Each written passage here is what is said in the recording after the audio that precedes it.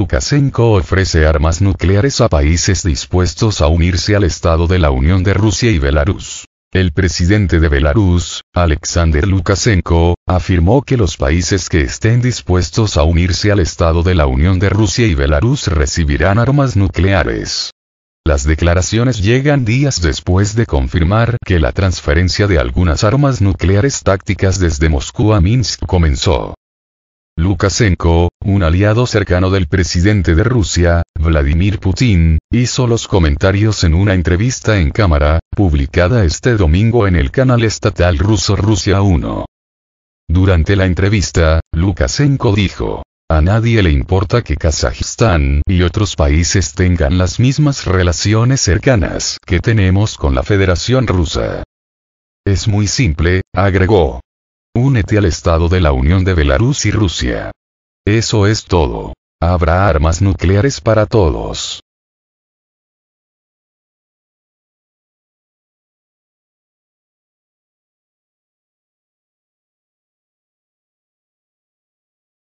Firmado en 1999, el acuerdo sobre el establecimiento del Estado de la Unión de Belarus y el Tratado de Rusia estableció una base legal para una amplia alianza que abarcó la economía, la información, la tecnología, la agricultura y la seguridad fronteriza, entre otras cosas, entre los dos países, según el sitio web del gobierno de Belarus. No quedó claro cuán amplia fue la invitación de Lukashenko para unirse al Estado de la Unión, y no ofreció más detalles. Pero es probable que sus comentarios sobre la entrega de armas nucleares a aliados de ideas afines aumenten las preocupaciones en un momento de creciente proliferación global y cuando Moscú amenaza al mundo con su propio arsenal atómico mientras prosigue su operación militar en Ucrania. Este jueves, el autócrata bielorruso dijo que había comenzado la transferencia de algunas armas nucleares tácticas de Rusia a Belarus, luego de un acuerdo firmado por Moscú y Minsk. Era necesario preparar sitios de almacenamiento, etc. Hicimos todo esto. Por lo tanto, comenzó el movimiento de armas nucleares, dijo Lukashenko, según la agencia estatal de noticias Belta. También prometió la seguridad de esas armas, diciendo, esto ni siquiera está en discusión. No se preocupen por las armas nucleares. Somos responsables de esto. Estos son problemas serios. Todo estará bien aquí.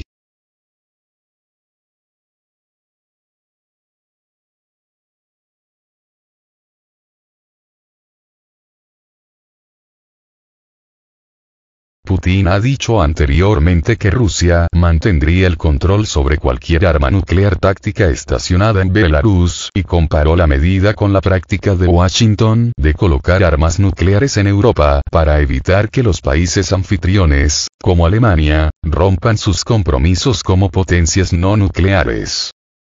Belarus no ha tenido armas nucleares en su territorio desde principios de la década de 1990.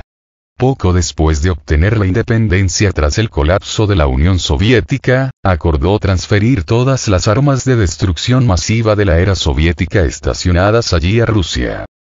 Desde que la operación militar especial en Ucrania, hace más de un año, Putin ha utilizado una retórica creciente en varias ocasiones, advirtiendo de la amenaza creciente de una guerra nuclear y sugiriendo que Moscú podría abandonar su política de no ser el primero en utilizarlas.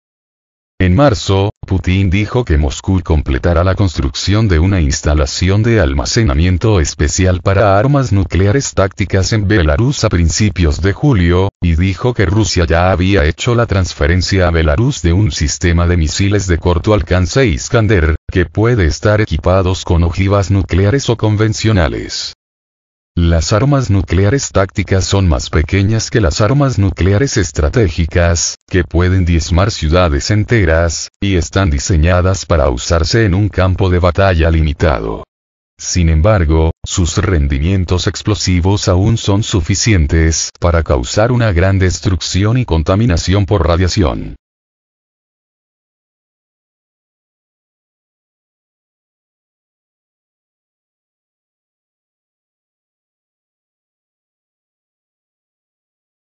Fuertes condenas. Estados Unidos y la Unión Europea, así como los líderes de la oposición en Belarus, han denunciado la medida de desplegar armas nucleares tácticas rusas en Belarus. Es el último ejemplo de comportamiento irresponsable que hemos visto de Rusia desde su intervención militar en Ucrania, hace más de un año, dijo el jueves pasado el portavoz del Departamento de Estado de Estados Unidos, Matthew Miller.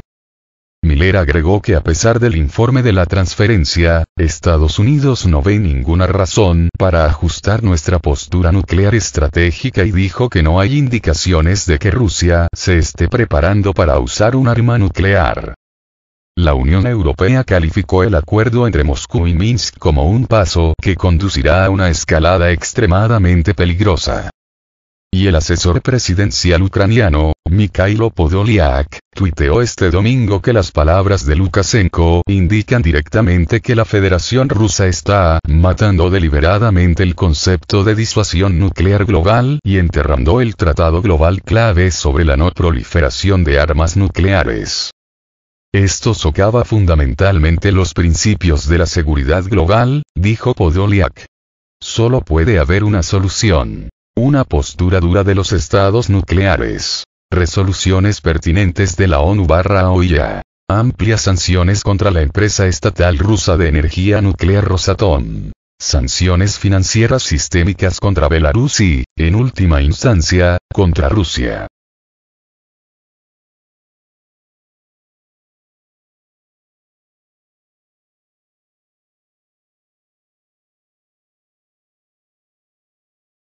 Los miembros de la oposición bielorrusa también criticaron el acuerdo, y la líder de la oposición exiliada, Sviatlana Tsikhanouskaya, dijo en una publicación en Twitter que debemos hacer todo lo posible para evitar el plan de Putin de desplegar armas nucleares en Belarus. Viola directamente nuestro estatus constitucional no nuclear y aseguraría el control de Rusia sobre Belarus durante los próximos años y amenazaría aún más la seguridad de Ucrania y de toda Europa, dijo. Analistas dicen que todavía hay muchas incógnitas con la transferencia. No sabemos si ya ha comenzado físicamente, aunque Lukashenko dice que sí. No sabemos si alguna arma ha salido realmente de Rusia todavía, no sabemos cuándo se desplegarán, no sabemos qué tipo de armas se desplegarán, dijo el viernes a CNN el experto en seguridad nacional Joe Sirincione. Sirincione, expresidente del Plousares Fund, que se enfoca en reducir la amenaza de las armas nucleares, dijo que si sigue adelante sería un hito histórico. No podemos recordar otro incidente en el que, durante una crisis, un Estado con armas nucleares haya sacado sus armas de la guarnición y las haya puesto en el campo, que es efectivamente lo que Putin está haciendo aquí, dijo.